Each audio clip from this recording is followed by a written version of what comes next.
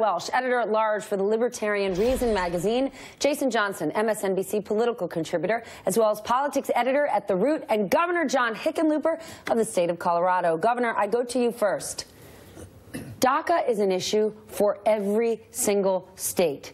Think about what it means for all of those dreamers who put themselves out there, who came out from the shadows because the government said, come out, tell us who you are. What is it going to mean going forward that our government reached out, those people made themselves public, and now they're in a quandary? Well, there's no question they shouldn't be a, bar bargaining chip. I mean, these, most of these kids came here when they were one or two or three years old. They have no other country, no other home to go back to. So to to put them into this situation of every week there's a different demand and it's a negotiating uh, from one side to the other. Everyone's drawing lines in the sand. That's crazy. Uh, and the anxiety and and psychological harm that it, I mean, most of these kids are now 15, 20, 25. It just puts them in an, in an almost un, unbelievable situation. And what do you say to the hardcore Trump supporter that says, that sounds really tough, but my child who was born in the United States, who's an American citizen just like me, they should have priority over those people? What's the response to that true Trumper? I think there are all kinds of priorities that people born in this country have remarkable level of advantages and, and you know, I, I mean, there's a list longer than my arm. The, the bottom line is that, you know, this is a small subset of, of the immigration issue. And maybe, I mean, ideally, this should be the time when Congress steps up and does comprehensive reform, right? Looks at the whole issue and says, all right, we're going to balance this out, balance that out, and begin. You know, when I first ran, got into politics in 2003, I ran for mayor. I'd never run for student council. This was an issue in 2003 that there was people. Were how are we going to address this, this immigration issue? Let's finally do it. Okay, let's finally do it, but we're backed up against a government shutdown. We know we're not going to get com comprehensive reform. We're going to get a, a, a, deal possibly. What do you think a deal is going to look like here? I mean, is this about dreamers versus a border wall? A very unpopular border wall with people in government, not just President Trump's base. Keep in mind that Donald Trump has already caved on this issue several times in terms of funding the border wall. This was supposed you mean to the wall that was supposed to be paid for by, by, by Mexico? Mexico? So yes. I don't know why we're even discussing who pays for it. This was supposed to be in every single one of the continuing resolutions that have been passed uh, temporarily over the over the past 12 months. It hasn't been. Every time they've come up to the brink, they're like, eh, no, let's just we'll table that and talk about it. I think the thing that gets sacrificed is you're not going to build a total border wall because it's physically impossible to do it, and 18 billion dollars is too much money for anyone to spend. So you might get a small chunk for a few miles of a border wall, but the thing, and it's a big thing that I think will end, is uh, discussion about ending chain migration. That's a big change to the immigration system. The people who are in that room. Jeff Flake is in that room. There's a lot of people,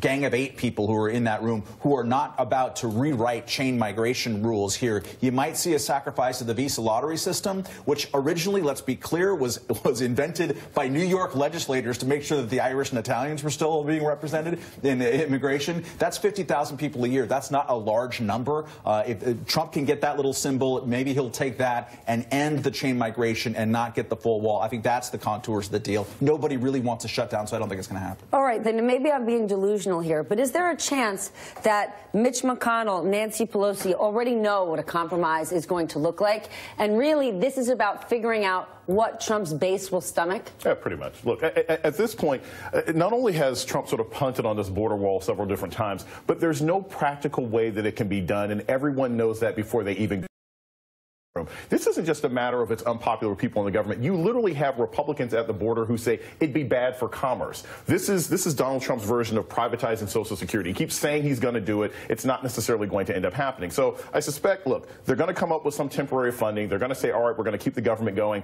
I don't even know if there's that much incentive to come up with any sort of comprehensive immigration bill because I can imagine Democrats saying we don't want to give Trump a victory uh, during a midterm election year, and I can imagine Republicans saying we don't want to alienate or anger our base during an election year. So I don't think either one's going to happen. Listen, in terms of border security, President Trump does have a feather in his cap. You are seeing uh, illegal immigration down. Right. People are scared to cross the border. So there is a positive without a wall. Governor, I turn to you for the raw politics of this because you are someone who truly reaches across the aisle. You do run a purple state. How does this work? How can how where do you see a path to work together here? Well, because people want bipartisanship. It's what they voted for. I think people, both sides, have to stop, you know, being absolutist. And they've got to say, all right, I have to have this, and this is a victory. Let's get away from who gets the victory and who gets the loss and figure out what the compromise is. If you look at Trump's biggest supporters, a lot of that's rural Colorado, rural America, and they're the ones, I mean, one of our best trading partners to maintain commodity prices is Mexico. We need a strong relationship with Mexico. Let's put all that in together. And again, building a wall is such a waste of money. There's 10 other ways to, to you know, secure the border. I think most people would agree that we need to secure the border one way or another. But why, build, why waste that money building a wall when it alienates one of our best trading partners? So is it that someone is not willing to have this conversation with the president about the value of the wall? I mean, you build the wall, all you need to do is build a ladder one foot higher. Will Hurd from the state of Texas, just yet, I want to say it was yesterday, said people that are dealing with this issue know that it is a third century solution to a 20th century problem, and it's not going to fix anything long term. That's a Republican saying that. Why doesn't someone simply sit down with the president and explain it? This idea of the wall isn't something that is core to him for years.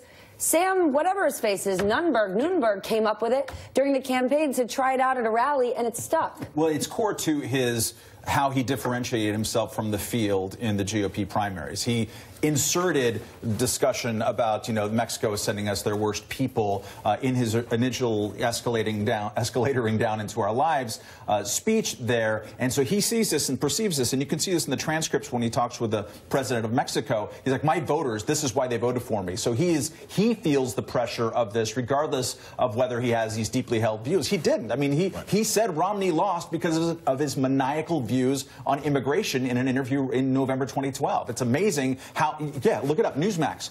Donald Trump said Mitt Romney lost because of his maniacal views on self-deportating, self-deporting immigration. Absolutely on the record there. Trump flipped. It's not something that people talk about, but it's right there in the record. It is amazing. He can say anything and none of it sticks. It's stunning. Which is where I think this really kind of comes down to. When you talk about having conversations with the president, you would think that any pollster would say, going back to what he said last year, there's nothing you can do to drop below about 35%. So you don't have to hold on to this. You can walk down the street and shoot someone in the head. You can engage in all sorts of terrible behavior. There's a certain amount of Trump's base that's never going to leave. And I think if people reminded him of that, he would get off of some of these more ridiculous ideas because he's never going to lose a certain number of his voters. Governor, let's talk Democrats for a moment and the threat of a possible shutdown.